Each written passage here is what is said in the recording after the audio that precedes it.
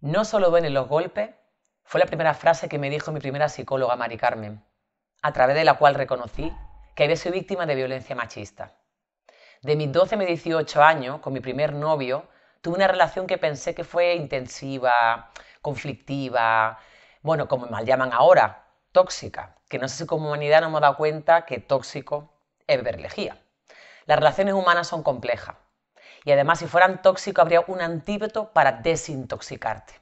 Y las relaciones de pareja son más complejas todavía.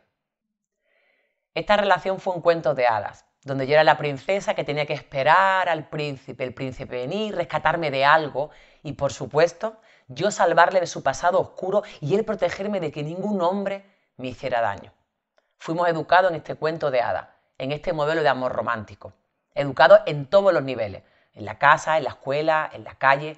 En los años 90 cuando se hablaba de estas relaciones de violencia, eran aquellas en las que había golpes, donde había sangre, donde era una cuestión de clase social, donde era porque el marido llegaba borracho, él trabajaba la construcción de clase obrera, llegaba y le pegaba una gran paliza a una mujer que no tenía autoestima, una mujer que no tenía estudio.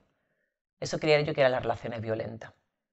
Y fue con no solo en los golpes, con la que Mari Carmen me abrió una ventana de luz enorme donde pude ver que la violencia no son solo que te golpeen, y a través de mi monólogo teatral, que se llama así, no solo ven los golpes, trato de abrir esas ventanas tanto a adolescentes como a gente adulta para reconocer qué son otras violencias que no se ven. Esas bromas, silencio, indiferencia, que te ignore, que te haga sentir culpable de todas las peleas, todo eso que no se nombra, que te sientas culpable siempre, todo eso es violencia. ¿De dónde se aprende la violencia? porque la agresividad y la rabia están dentro intrínsecamente en el ser humano. De hecho, la rabia y la agresividad bien encauzadas para no hacer daño y para no hacerte daño, son emociones que al ser humano nos permiten movernos, accionar. La violencia es aprendida y si se aprende, se desaprende. Y no podemos comparar una violencia estructural con una violencia reactiva. La violencia estructural es aquello que el sistema permite que ocurra de algo que está arriba por algo que está debajo. La violencia reactiva es reaccionar a la violencia. Ninguna es buena, pero para que me entendáis, no es lo mismo hacer daño para hacer daño que hacer daño por defenderte. ¿Dónde aprendió mi primer novio a tratarme mal? ¿Dónde aprendió que yo le preguntaba qué te pasa y que él me contestara nada? ¿O tú sabrás lo que me has hecho? Lo aprendió en una película. Estaba viendo una película, vi una imagen y dijo, ah, esa es la frase cuando mi novia me pregunte qué me pasa, le voy a contestar nada o tú sabrás lo que me has hecho. ¿Lo aprendí en una canción? ¿Dónde se aprende esto? En el poder. Se aprende desde el poder. Hago esto y te digo esto porque puedo. El poder es algo que viene de fuera hacia adentro. Y cuando está dentro, muy interiorizado en ti, lo ejerces de dentro hacia afuera. El poder nace de un sistema patriarcal que se creó hace más de 21 siglos, donde el patriarcado colocó aquí el mundo azul y aquí el mundo rosa. Un día el patriarcado iba caminando por la calle, se encontró con el capitalismo, se enamoraron y se casaron por la iglesia. Y le dijo el capitalismo al patriarcado, Patri, a mí lo que más me gusta de ti como un sistema que se basa en la biología, de colocar aquí a hombres como fuertes y aquí a mujeres como débiles, es que me viene muy bien para montarme el resto de desigualdades basadas en la suerte. en la suerte de nacer en el primer mundo o tercer mundo, la suerte de ser rico o pobre, blanco, cualquier otra raza, heterosexual, cualquier identidad, orientación sexual, cis, trans, capacitismo, diversidad funcional o intelectual, el profesorado, el alumnado. Cuando hago este gesto en el monólogo teatral y el público lo mira, es como, wow, yo pensé que éramos diferentes los seres humanos, que estaría muy guay si viéramos esa diferencia y esa diversidad de que no todos podemos ser iguales. Pero esto no es diferente, es desigual.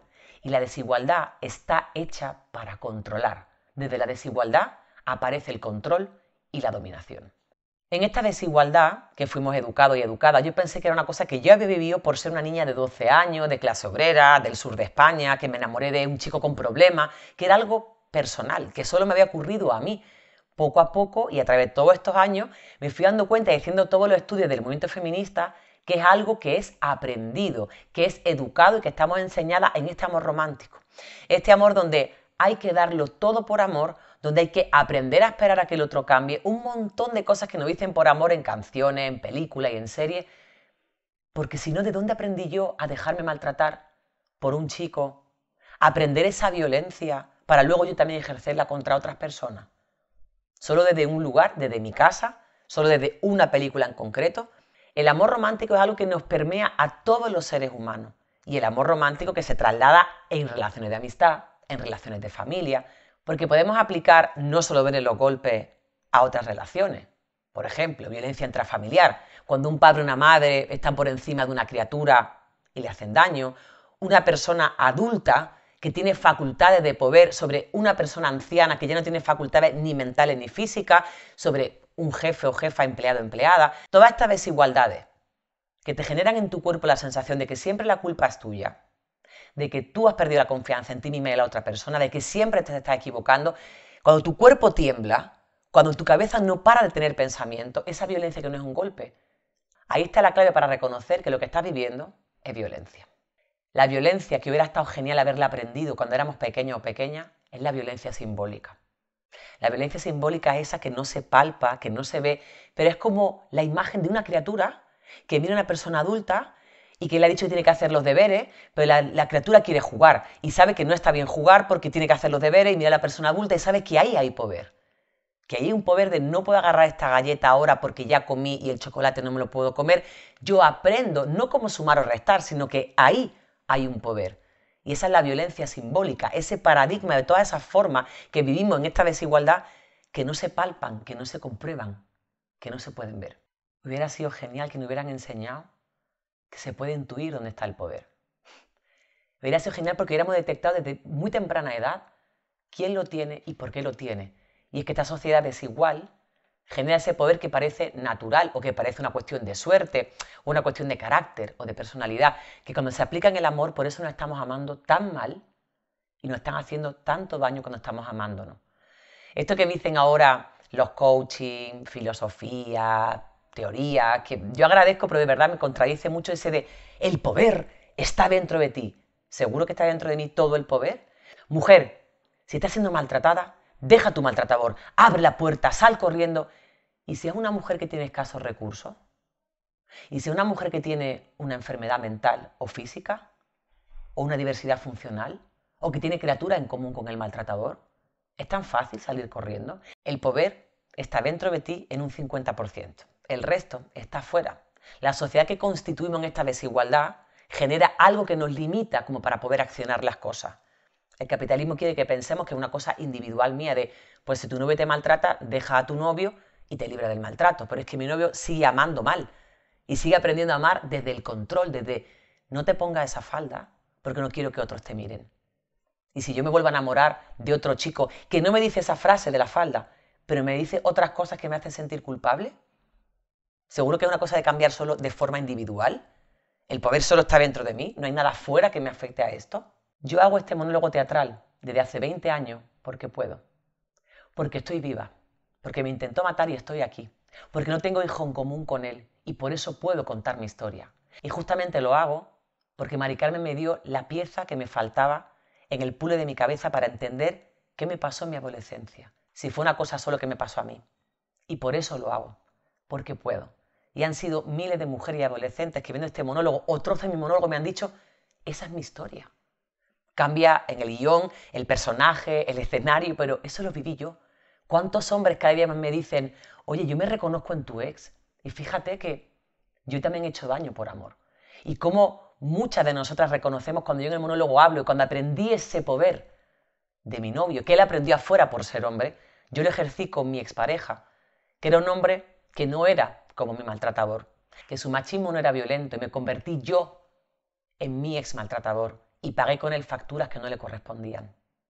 Porque en las parejas siempre hay conflicto, pero el conflicto no es violencia, el conflicto no es una pelea, el conflicto es algo donde dos necesidades están y no se encuentran, porque dice, ay, yo tengo esa necesidad, tú tienes esta, no nos encontramos, hay un conflicto, hay un nudo, en los conflictos se puede hablar, a veces hay que hablar mucho más largo, a veces más doloroso, más incómodo, a veces hay nudos que están ahí enroscados y no se pueden desenroscar, pero en la violencia no se puede hablar, es yo tengo la razón y tú no. Y si te la doy, siempre habrá algo que tú hagas que me ha provocado a mí colocarme aquí. Los conflictos son básicos en las relaciones humanas. Aprender a escucharnos mejor y amarnos mejor nos va a dar muchísima más libertad. El amor de verdad no duele. Lo que duele es el desamor. Que te dejen cuando tú no quieres que te dejen, que te dejen cuando sigues en la fase del enamoramiento. Ese desamor puede doler. Pero que estés con alguien y te tiemble el cuerpo por pensar que siempre si hay un problema es culpa tuya, que dudes de ti misma, de tu capacidad que antes tenías para vestirte como te va la gana, para hablar como te da la gana, que te tiemble el cuerpo cuando sabes que vas a tener un problema con tu pareja, eso no es amor, eso es violencia. Y cuidado además porque no hemos creído que hay un empoderamiento espejo y que las mujeres ahora podemos amar de otra manera y ser mucho más libres y que ya sí tenemos un maltratadores porque queremos, porque tenemos toda la información en nuestra mano, porque el movimiento feminista a nivel mundial ha peleado por nuestros derechos, sí. Pero en lo simbólico, las mujeres no solo nos duelen los golpes, nos duele cobrar menos que los hombres, la mitad o menos de la mitad por hacer los mismos trabajos. Nos sigue doliendo que en una entrevista nos pregunten si tenemos pareja o si pensamos ser madre en nuestros planes de vida. Nos sigue doliendo ir por la calle a ciertas horas de la noche mirar para atrás y escuchamos pasos y si vemos a un hombre, lo primero que se nos cruza es, me puede violar. No hemos sido nosotras las que hemos creado un discurso en nuestra cabeza de un terror de que nos puede pasar algo porque tenemos una paranoia personal e individual, sino que este sistema patriarcal y machista nos ha generado ese miedo. Por tanto, en el amor aparece ese miedo. Cuando estamos en la intimidad más vulnerable, aparece ese miedo. Y el amor de verdad no da miedo. Ojalá me hubieran contado esto antes cuando era niña en una película, en una canción. Ojalá hubiera visto una serie donde en un capítulo dijera, ese es el amor de verdad, el que no duele. Ojalá, estando en el colegio, hubiéramos hecho un juego que hubiera entendido que a mí por amor no me tienen que tratar mal, ni yo tratar nunca mal a nadie por amor. Que me puedo equivocar, que puedo hablar mal un momento, en un día, pero nunca tratar mal a nadie hacerle sentir de menos. Ojalá hubiera escuchado antes uno de los proverbios mayas que yo colonicé porque viví en El Salvador y que esta es una de las ironías que ocupo, ¿no? Por ser europea y vivir en El Salvador y colonizar una parte de la cultura y de la lengua de los ancestros mayas, aztecas y pipiles del Salvador, que decían que sabían antiguamente cuando las cosas iban bien según el lenguaje que hablaran los corazones. Porque decían los y las mayas que si dos corazones estaban cerca, la lengua que hablaban era el susurro. Pero que si dos corazones estaban lejos, tenían que gritarse porque se habían dejado de escuchar. Y lo que ha pasado en esta charla, incluso a través de una pantalla, he tratado que de mi corazón al tuyo me hayas permitido susurrarte una parte de mi historia. Muchísimas gracias.